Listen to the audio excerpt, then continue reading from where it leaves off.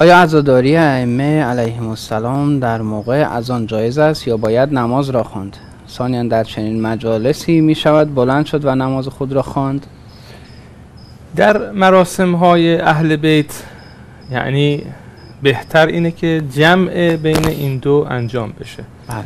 یعنی ازاداران به نماز جماعت و نماز اول وقت هم توجه کنند و به جا بیارن. البته نباید فراموش کرد که هم روایت شریفه داریم و هم اکثر قریب به اتفاق و شاید گفت همه آقایون مراجع فتوا دادند که نمازی که به جماعت خوانده بشود هرچند تأخیر بشود و اول وقت نباشد ثوابش بیشتر از نماز فرادایی است که اول وقت خوانده بشود.